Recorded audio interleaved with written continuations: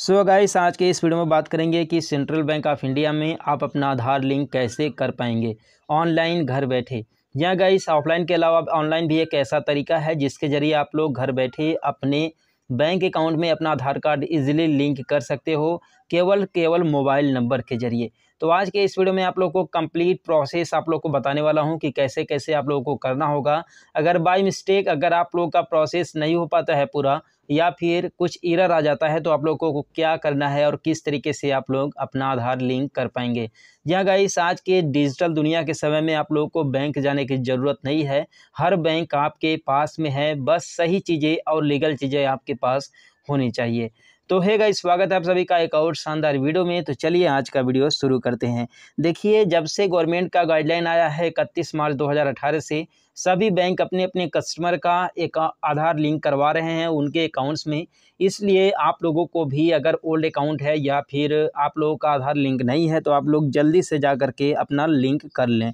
तो देखिए लिंक करने का तरीका ये है कि सिंपली आप लोग को गूगल में ये लिख करके सर्च कर लेना है Aadhaar link Central Bank of India इसके बाद फ़र्स्ट में जो वेबसाइट आएगा, इस वेबसाइट पर सिंपली आप लोग को क्लिक कर लेना है।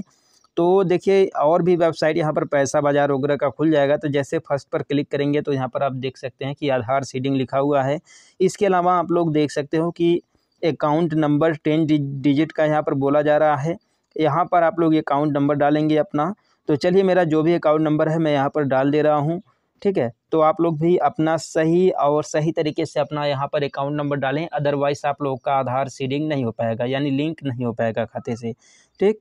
इसके बाद आप लोग देख सकते हो कि दूसरे नंबर पर यहाँ पर बोला जा रहा है आधार कार्ड नंबर।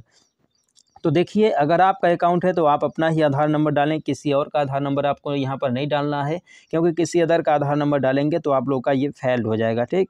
तो देखिए, यहाँ पर आधार नंबर फिल कर देना है। जैसे आधार नंबर फिल करेंगे तो यहाँ पर री इंटर करने के लिए बोला बोला जा रहा है आधार नंबर। तो चलिए, मैं री इंटर कर दे रहा हूँ आधार नंबर और जैसे री इंटर करूँगा तो इसके बाद यहाँ पर एक मोबाइल नंबर आप लोगों को देना है। ठीक है तो चलिए मैं यहाँ पर री इंटर कर दिया हूँ। इसके बाद आप लोगों को एक मोबाइल नंबर देना है, जो कि आपके अकाउंट के साथ लिंक होना चाहिए। और मे भी अगर दूसरा नंबर आपके आधार में लिंक है तो भी चलेगा, ठीक है। लेकिन इसमें यहाँ पर वही नंबर देना है, जो आपके अकाउंट के साथ लिंक हो। ठीक है तो मेरा यहाँ पर ये नंबर अकाउंट के साथ लिंक है। तो मैं यहाँ पर दे दे रहा हूँ। गैस वैसे तो मेरा कोई अकाउंट इसमें नहीं है, लेकिन ये मैं मान करके दे रहा हूँ कि मेरा इस तरीके से है। ठीक है, वैसे मेरा सेंट्रल बैंक ऑफ़ इंडिया में अकाउंट नहीं है। इसके बाद आप लोगों को यहाँ पर आई एग्री टर्म्स कंडीशन आप लोग को थोड़ा पढ़ना होगा। यहाँ पर कंसेंट पर क्लिक करने से पहले जैसे देख सकते हो कि आई एग्री विथ और इसके बाद क्या क्या एग्री करवाया जा रहा है आपसे। ये चाहे तो आप पूरी डिटेल पढ़ सकते हैं, वैसे आप लोगों को पढ़ना चाहिए, ठीक है। तो इसके अलावा भी आप लोग यहाँ पर देख सकते हो कि सारी सारी चीज़ें यहाँ पर आप लोग को ये सारी चीज़ें पढ़ लेना है।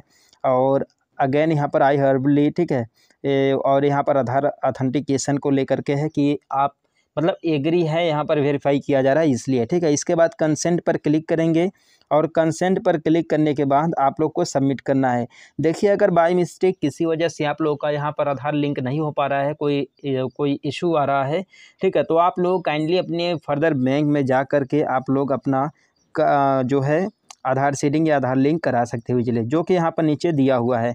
देखिए, Central Bank Central Bank of India में ये फैसिलिटी दिया है कि आप लोग ऑनलाइन कर सकें, लेकिन अगर ऑनलाइन नहीं हो पा रहा है, कोई प्रॉब्लम आ रही है तो आप लोग होम ब्रांच में जा करके अपना ई के या फिर आधार सीडिंग आधार लिंक कर सकते हो इजीली। तो आज वो वीडियो पसंद आया होगा तो इस चैनल को अभी सब्सक्राइब कर देना, वीडियो को लाइक कर देना और शेयर भी कर देना। हम लोग मिलते हैं फिर किसी नेक्स्ट वीडियो में नए सोल्यूशन साथ तब तक के लिए बाय बाय